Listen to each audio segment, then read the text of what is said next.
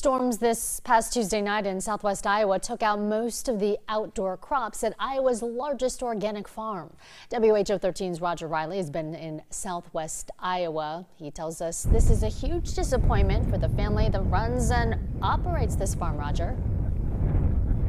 Uh, yeah, Janae, I'm here at Bridgewater Farms in Adair County where uh, this crop behind me here is garlic and it should be about 30 inches tall. The hail came through the other night just snapped it off. Basically, they sell certified uh, organic produce at farmers markets in Omaha, Des Moines, and their produce can also be found at some Hy-Vees. Now, at this point, they don't have much of a crop to sell.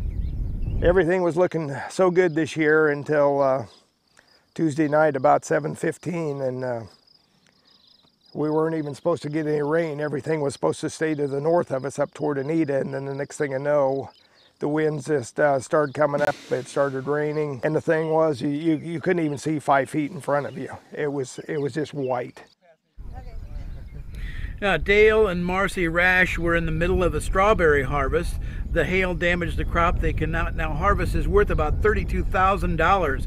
Much of the crop's damage, peas, lettuce, garlic, will be considered a total loss, though they are hopeful the potatoes can survive and produce something. Now, the weather even damaged their hay crop. Took a walk around the night before and saw the hay was, you know, shoulder high and just everything just looked so good and then uh, you know an hour and a half later it just everything is just pretty much destroyed that was outside. So yeah it was uh, it's what you call a hundred and fifty thousand dollar loss in 10 minutes